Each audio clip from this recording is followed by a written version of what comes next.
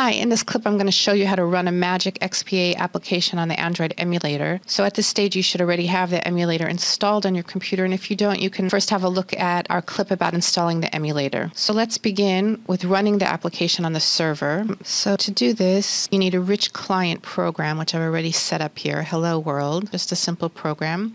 You need to define it with a public name. So here we've got mobile program and you need to have the external checkbox clicked. The only other thing that you need is to make sure that you've got a setting here that the deployment mode is set to background, which we've already got here. And it has to run in the background so that it can handle requests from the mobile RIA client. Then we're going to run the application on Magic Server, and you can do it directly by starting the runtime engine, or like I'm going to do here, by pressing this button here. And then you see that the application is executing. And then you just go ahead here to the broker icon, double click on it, and you can see that the application is running. So that's what we need to do in the Magic XPA Studio. Now you need to configure the Android client to connect to your Magic server. And this configuration you can do either in the Android client or an external file that the Android client will read. And in this sample, we'll use an external file to store the connection settings. And this way it's easier to change the settings without having to rebuild the Android client each time. And to make things easier, we'll just use a sample file, which you can find in the folder where you installed Magic. And just look for this RIA modules folder. We're going to click it. And since we're using the Android emulator, we'll find it here under the Android folder. And here you'll see devprops.txt.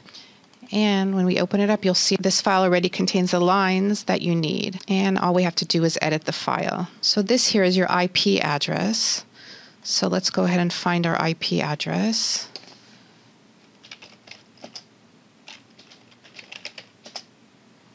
And here we'll see it right here. And I'm just going to go ahead and type it in.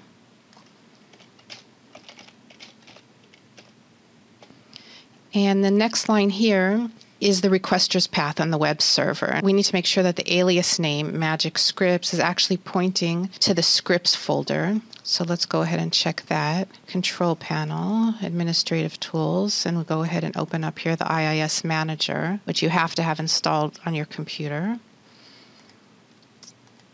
And here we've got the magic scripts. And we'll just click to make sure that it actually goes to the scripts folder, which it does, so we're good to go. And the next property here is, is the app name, which we had as Hello World.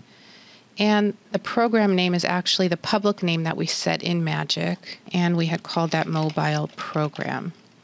So we want to place this file on an exposed web server, such as Magic Scripts, which we just saw. And it's actually best to create an alias that is specific for your project, and you do that in IIS. But for right now, we'll use Magic Scripts. So we're going to save this file to the scripts folder, which we saw earlier is connected to the Magic Scripts alias. And just go ahead and save it here. Now we need to configure the Android client to connect to this file, and you can do this as part of the customization of your Android client, but that will show you in a different movie. Here we're going to use the generic Android client, which you can find in the same place where you found the devprops text file. So here it's called magic dev.apk. We're going to use that, and we just need to go ahead and copy it into the scripts folder. Now we're going to see how to install the Android client on the emulator and run it. So let's go and open the Android emulator, which is right over here. And here you'll see two virtual devices that we defined. This Android for demos, what we defined in a previous clip. I'm just going to click on that and click Start and Launch. And have a bit of patience while it loads. So there are several ways to deploy the Android client. You can either run the APK file on your device, let's say by getting the APK file as an email attachment and then just clicking on it, or you can also use the ADB command line utility from the Android SDK, and this is also explained in this concept paper here in the Magic XPA help. You can find more information about this under running your application on a mobile device or simulator. There's a lot of good information here in the concept paper. Or you can do it over the air, and that's what we're going to do here. We're going to click here on the browse icon. and browse to the server where the APK file exists. And for this to work, you need to put the APK file on an exposed folder on the web server, which we did earlier by saving it to the Magic Scripts alias. And now we'll browse here to this location where we saved it. Oh, HTTP, and then our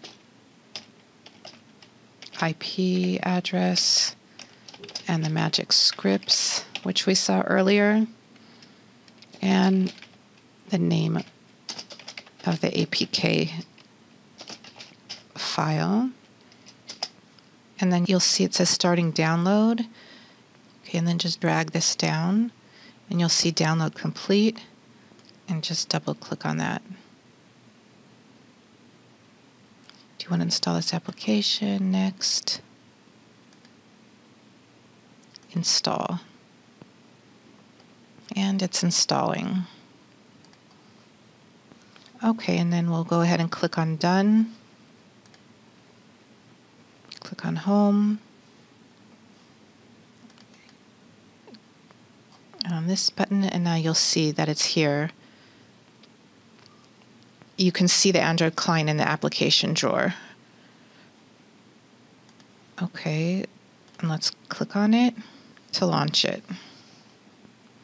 And since we use the generic client, this dialog box comes up, and here you need to enter the URL that refers to the execution properties file, that devprops.txt file. So again, we'll type in here our IP address, magic scripts, and dev devprops.txt, and click OK to run your application.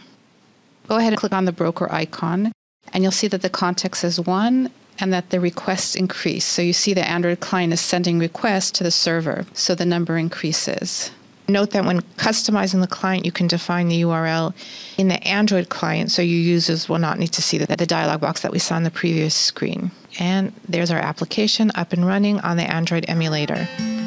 Thanks, and join us again soon for some more magic.